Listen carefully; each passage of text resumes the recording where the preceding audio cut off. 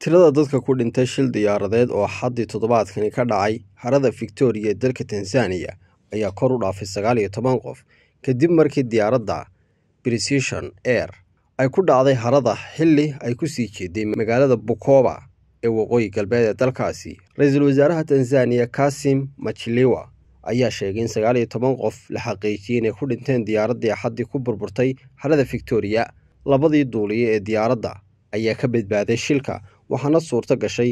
in ay la hadlaan mas'uuliyiinta deegaanka kuwaas oo ku sugnaa qolka diyaaradaha laga hago balse ra'iisul wasaaraha ayaa mar kale tuhungeliyey in laga yaabo in dadkaasi ay dhinteen iyagoo la la'yahay samatabaxiyaashu waxay badbaadiyeen lix iyo labaatan qof oo ka badbaaday diyaaradda burburkeeda kadib markii ay diyaaraddu u burburtay cimilo xumo soo wajahday darteed iyadoo sidoo kalena saddex iyo afartan qof ay saarnaayeen diyaaradda kuwaasoo sagaal iyo soddon ka mid ah ay rakaab ahaayeen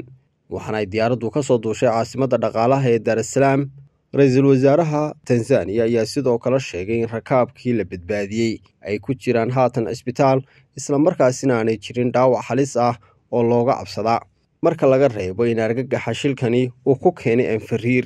magacyada rakaabka iyo shaqaalaha diyaaradda ayaan la shaacin doonin ilaa dhammaadka inta ehelada laga ogeysiinayo sida lagu sheegay bayaan ay soo saartay shirkadda diyaaradda lahayd ilaa hadda si rasmi ah looma oga sababta keentay. Amaba ka dambeysay burburka diyaaraddani balse shirkadda isgaadhsiinta ee tanzaniya ayaa sheegtay in shilkani uu dhacay. Xilli ay socdeen dabaylo iyo roobab xooggani khadiir qowdhame wararka laanta afka soomaaliga e c b a t v